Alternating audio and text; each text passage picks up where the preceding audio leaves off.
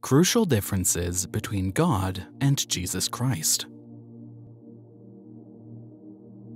It is imperative to realize and understand the critical differences between the nature of God and the nature of Jesus Christ, who was but a human prophet.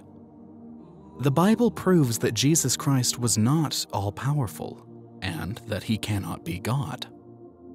God is almighty, all powerful, and all knowing, and as Jesus Christ is human, he has limitations. Mark chapter 6 verse 5 states that Jesus Christ could not perform any miracles except for a few. He could not do any miracles there except lay his hands on a few sick people and heal them. Mark chapter 6 verse 5. Mark chapter 8 verses 22 to 26 states that when Jesus tried to heal a blind person, he was unsuccessful on the first attempt and had to try again. Would God fail to do anything on his first try? The Bible demonstrates that God in the heavens is all knowing, meaning his knowledge is infinite, which, of course, is true. Great is our Lord, and of great power. His understanding is infinite. Psalm 147, verse 5. On the other hand, the Bible demonstrates that Jesus Christ was not all knowing and had limited knowledge, as he did not know the date of Judgment Day. But about that day or hour, no one knows, not even the angels in heaven, nor the Son, but only the Father. Matthew chapter 24, verse 36. Here is another similar verse. But of that day and that hour knoweth no man, no, not the angels which are in heaven, neither the Son, but the Father. Mark chapter 13, verse 32. How can Jesus Christ be divine and part of the Trinity if he does not even know the date of Judgment Day? The answer is simple. Jesus Christ is a human prophet and not God. Mark chapter 11, verses 12 and 13 shares a story that demonstrates Jesus Christ's limited knowledge. Jesus Christ approached a fig tree to eat some fruit but found none. This was because it was not fig season. If Jesus Christ were all knowing, he would have known that the tree would not bear figs, as it was not fig season. The next day, as they were leaving Bethany, Jesus was hungry. Seeing a fig tree in leaf in the distance, he went to find out if it had any fruit. When he reached it, he found nothing but leaves, because it was not the season for figs. Mark chapter 11, verses 12 and 13. The Bible quotes, And Jesus grew in wisdom, stature, and favor with God and man. Luke chapter 2, verse 52. This implies that Jesus Christ could not have been all knowing as his wisdom grew, meaning his wisdom was less at one point. God does not learn as he goes, he is always all knowing. God is independent of everything and does not need to eat, drink, or sleep. God does not sleep nor slumber, nor does sleep overtake him. Jesus Christ, on the other hand, ate, drank, slept, and urinated because he was human. He suffered pain and felt emotions. This differentiates Christ from God the Almighty. If Jesus Christ were in fact divine, he would not have needed to perform human actions and functions. The Bible states that Jesus Christ died, but God cannot die. If a person dies, he cannot be God by definition. God has always existed and will always exist. Jesus Christ, on the other hand, was born of a mother and came into existence at one point, so he had a beginning. However, God does not have a beginning nor an end.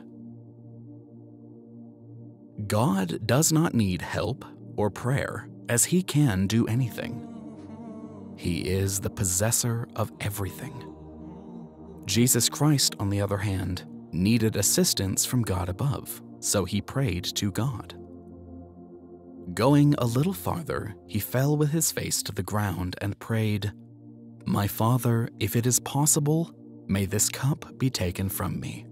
Yet not as I will, but as you will. Matthew chapter 26, verse 39. Jesus Christ prayed in the same manner Muslims pray by prostrating themselves to the ground, since Jesus Christ was a Muslim. Remember that, by definition, a Muslim is someone who submits himself to God the Almighty above. If Jesus Christ was God, the Son of God, or divine in any way, why would he need to fall into humility and pray to God?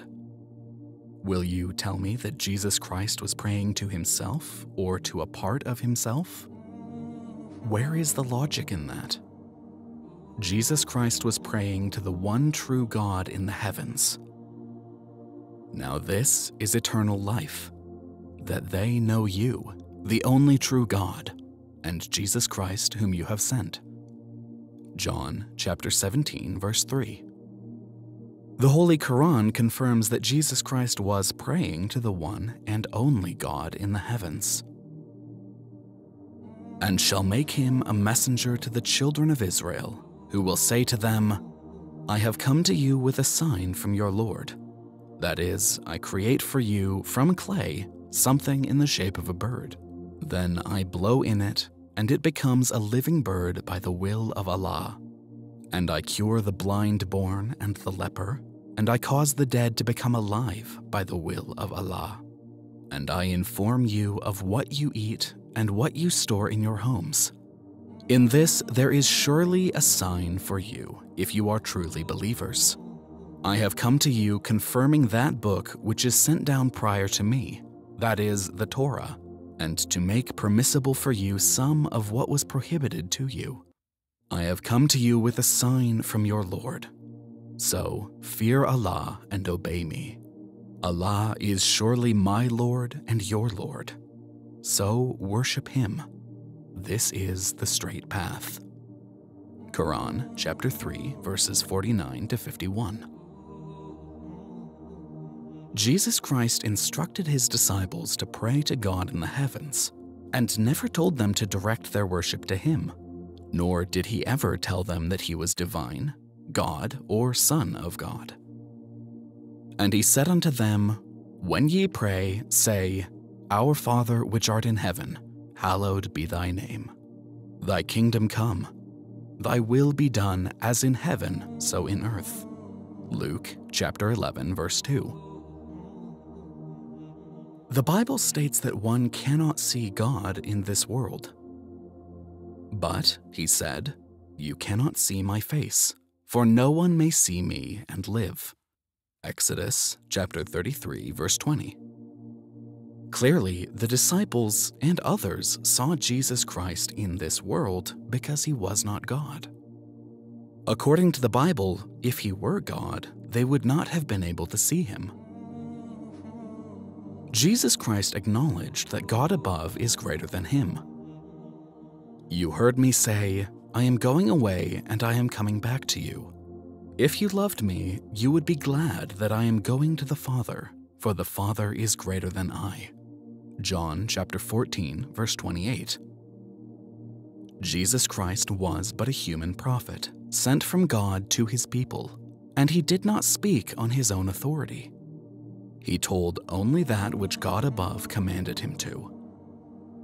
The words I say to you, I do not speak of my own authority.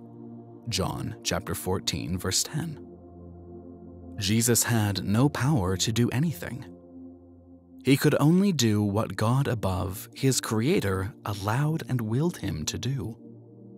The Bible quotes Jesus Christ saying, By myself I can do nothing. I judge only as I hear, and my judgment is just. For I seek not to please myself, but him who sent me. John chapter 5 verse 30. Christians say that Jesus Christ was a savior, but he could not even save himself. He needed saving himself. As stated in the previous chapter, Jesus Christ begged God to save him right before he thought he would get crucified. By definition, God cannot be limited. If one were to say that Jesus Christ transformed from God into a human when he was on earth, rendering him limited power and knowledge, he could not be God, because God, by definition, is almighty, all powerful, and all knowing, and can never be limited.